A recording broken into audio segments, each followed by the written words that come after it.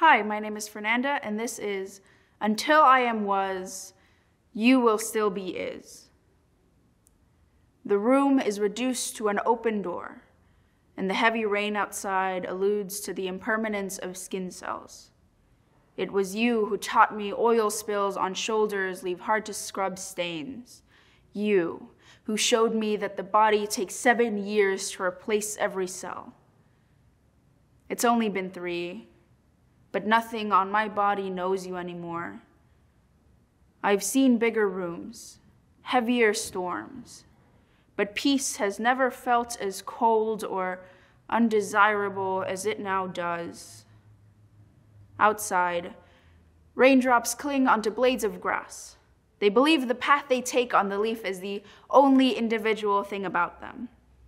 Maybe they know once they reach the earth, they become one puddle again, despite the futile attempts at distinguishing themselves. I am a droplet of water on the blade of grass, rushing towards the dark earth, clinging for a final moment onto the base of the leaf. Only in that moment are we unique. How long can I hold on? Not much at all. Probably too much. Probably I am the only droplet of water holding on. The others long seeped into the earth by now. Maybe I am the last drop of water on the last blade of grass. Foolish, foolish girl. The room is reduced to a foggy window. I can hardly make out the droplet descending onto the already wet earth. And we begin to forget grass is green. The sky has dried up. Only a light drizzle remains.